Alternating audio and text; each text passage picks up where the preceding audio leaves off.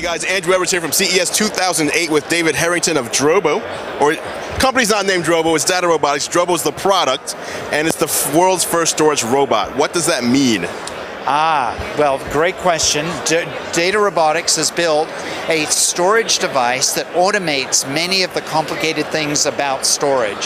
So it provides the ease of use of a USB direct attached device with the protection normally associated with RAID systems.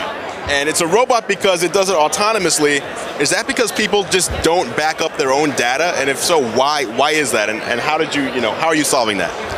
Well, yeah, people have always had problems backing up data, figuring out what, you know, where where to put things, make sure it's safe. Some people put it on two or more disks, and then you have to manage it. People try to use RAID systems and find them to be have all kinds of problems.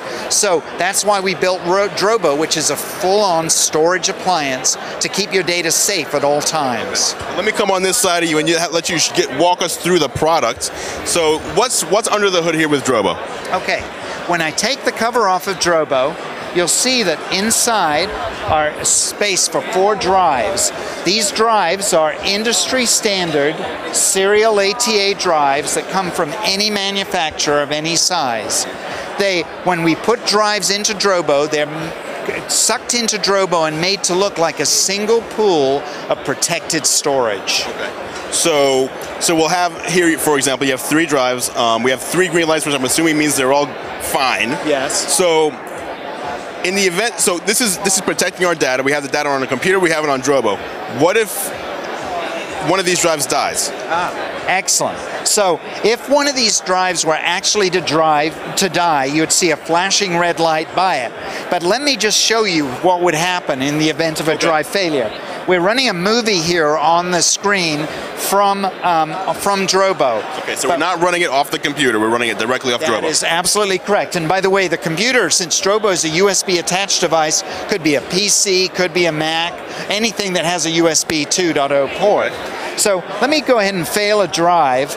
Um, and you can see that the movie keeps running on Drobo, so the user's work is, is protected and uninterrupted.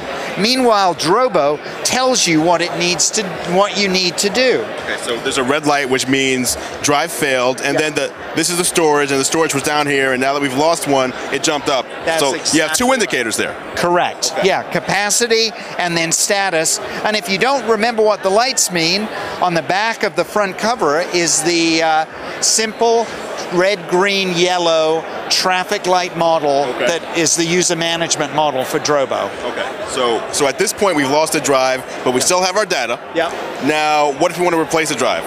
How does that work? It's very simple. You get any drive, any serial ATA drive, and put it into Drobo. No carriers are required on the drives themselves, so you'd literally just take it out of the package and put it into Drobo very simply. What does Drobo do with this new drive? Does it start copying data to it? Is that what it's going to do? Or? It, yes, essentially, it pulls it pulls the drive into the system, makes that space, new space, instantly available to you, and then As proceeds. It just turned green, and and our capacity went back down. Yes, correct.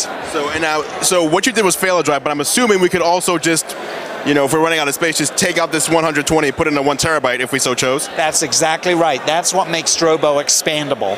So you can keep growing because the industry keeps making bigger and faster drives. You can replace the smaller drives with bigger drives, thereby increasing your pool of protected storage. And not worrying about data loss. So let me ask you another thing.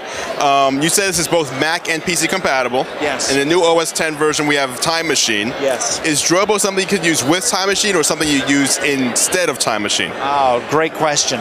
Drobo is the perfect complement for Time Machine, which requires an external drive.